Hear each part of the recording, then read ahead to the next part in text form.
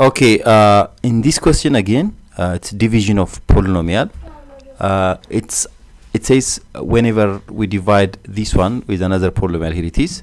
This one it has constants k, p, and q. The quotient is x minus 2 and the remainder px minus k. And then what are the values of k, uh, p, and q? So what to do? Remember there is a formula.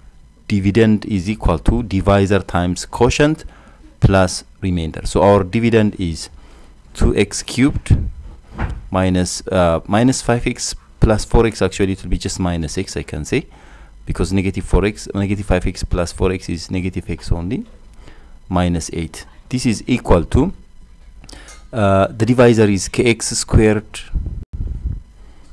plus px uh, plus q multiplied with the quotient which is x minus 2 and then plus the remainder is px minus k.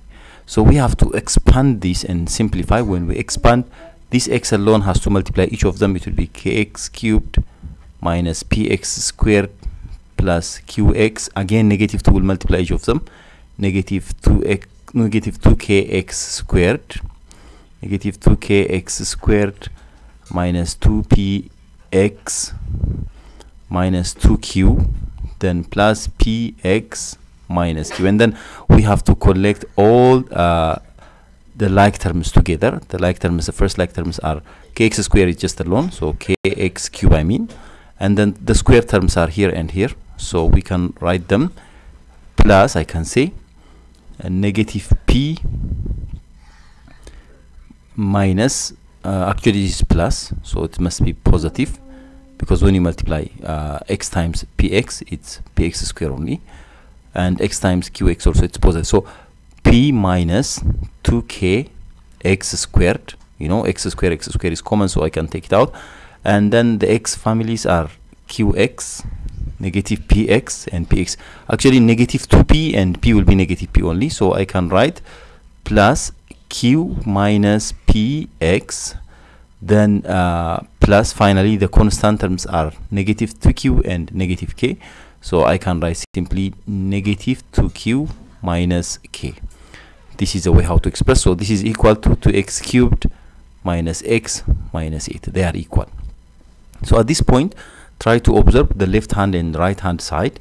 The x cube to the left side the uh, x cube term and the right side the x cube term the coefficient must be the same. That means 2 is equal to k k value equal to 2 okay keep it. Again the coefficient of uh, x square here it is p minus 2k and the coefficient of x square there is no x square here that means it is 0 x square so I can take p minus 2k is equal to 0 but I know the k value which is 2 so p minus 4 is equal to 0 because the k is 2 2 times 2 is 4 so p value is equal to 4 done and again the coefficient of x here q minus q minus p it is equal to the coefficient of x to the left side that's negative 1 and I know the p which is 4 so q uh, minus 4 is equal to negative 1 so uh, q uh, is equal to